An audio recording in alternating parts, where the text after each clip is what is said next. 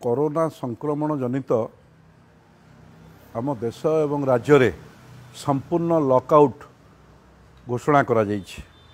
ଏହି ଗମ୍ଭୀର ପରିସ୍ଥିତିରେ ଆମେ ଭାରତୀୟ ଜନତା ପାର୍ଟି ତରଫରୁ ଆମେ ରାଜ୍ୟ ପ୍ରଶାସନକୁ ଅତ୍ୟନ୍ତ ବିନମ୍ରତାର ସହ ରାଜ୍ୟ ସରକାରଙ୍କୁ ଏକ ଅତ୍ୟନ୍ତ ବିନମ୍ରତାର ସହ ଆମେ ନିବେଦନ କରୁଛୁ ଭାରତୀୟ ଜନତା ପାର୍ଟିର ପଞ୍ଚାୟତ ବ୍ଲକ ଜିଲ୍ଲା ସ୍ତରର କାର୍ଯ୍ୟକର୍ତ୍ତାମାନେ ସ୍ୱଚ୍ଛାକୃତ ଭାବରେ ପ୍ରଶାସନକୁ ସାହାଯ୍ୟ ସହଯୋଗ କରିବା ପାଇଁ ଅପେକ୍ଷା କରିଛନ୍ତି। ଏ ଘଡ଼ିସନ୍ଧି ମୁହୂର୍ତ୍ତରେ ଏଭଳି ଏକ ଗମ୍ଭୀର ସ୍ଥିତିରେ ରାଜ୍ୟ ସରକାର ଅତ୍ୟନ୍ତ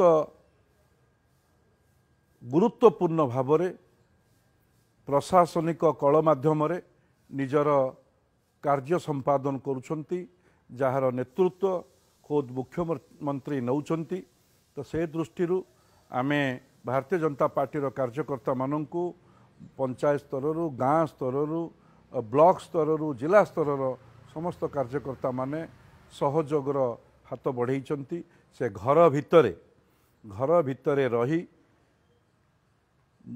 ଟେକ୍ନୋଲୋଜି ମାଧ୍ୟମରେ ସେ ସୋସିଆଲ ମିଡ଼ିଆ ସାମାଜିକ ଗଣମାଧ୍ୟମ ହେଉ କିମ୍ବା ମୋବାଇଲ ମାଧ୍ୟମରେ ହେଉ ନିଜର ପଡ଼ିଶା ଗାଁର ମୁଖିଆ ସମସ୍ତଙ୍କୁ ଏଥିରେ ସହଯୋଗ କରିବା ପାଇଁ ପଞ୍ଚାୟତର ପ୍ରଶାସନକୁ ହେଉ ଜିଲ୍ଲାର ପ୍ରଶାସନକୁ ହେଉ ବ୍ଲକର ପ୍ରଶାସନକୁ ହେଉ ସାହାଯ୍ୟ ସହଯୋଗ କରିବା ପାଇଁ ସମସ୍ତେ ଅପେକ୍ଷା କରିଛନ୍ତି। ତେଣୁ ମୁଁ ଆଶା କରୁଛି ଆଜିର ଏ ଗମ୍ଭୀର ସ୍ଥିତିରେ ରାଜ୍ୟ ସରକାର ଏ ଭାରତୀୟ ଜନତା ପାର୍ଟିର ପ୍ରସ୍ତୁତ ଥିବା ସମସ୍ତ କାର୍ଯ୍ୟକର୍ତ୍ତା ସ୍ୱେଚ୍ଛାସେବୀମାନଙ୍କୁ ଯଦି କାର୍ଯ୍ୟରେ ଲଗାଇବେ ଇଏ ନିଶ୍ଚିତ ରୂପେ ଆମେ ସମସ୍ତେ ମିଶି ଆପଣଙ୍କ ନେତୃତ୍ୱରେ ଆମେ ରାଜ୍ୟବାସୀଙ୍କୁ ଏକ ସଫଳତାର ସହ ଏ କରୋନାର ମୁକାବିଲା ଆମେ କରିବା।